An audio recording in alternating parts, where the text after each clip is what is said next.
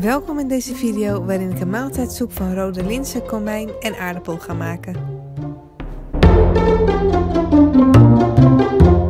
Je hebt nodig 175 gram gedroogde rode linzen, 2 kleine aardappelen en 2 kleine uien, 1 eetlepel tomatenpuree en een klontje roomboter, 3 telen knoflook en 4 theelepels paprikapoeder en 4 theelepels komijn.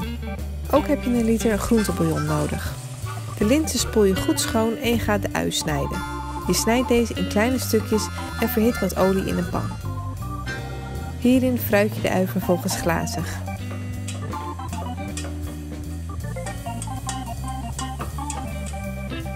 Dan doe je de knoflook erbij. Ondertussen schil je ook de aardappels.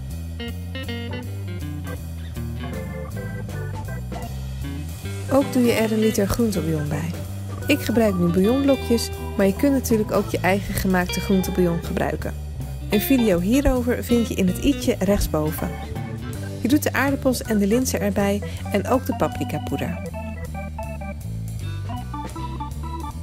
Dit laat je voor ongeveer 3 kwartier op laag vuur koken.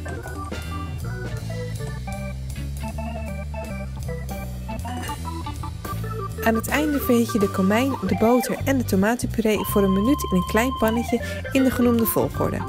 De tomatenpuree voeg je pas toe als de boter helemaal is gesmolten.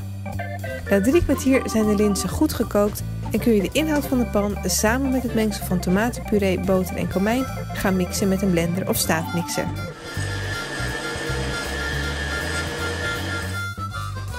Dan is je soep klaar dit is een stevige soep welke je natuurlijk altijd kunt verdunnen indien gewenst. De soep is goed voor 200 calorieën en het recept is voor ongeveer 3 tot 4 porties. Vergeet vooral niet te abonneren op mijn kanaal voor nog meer video's en dan hoop ik je snel weer te zien.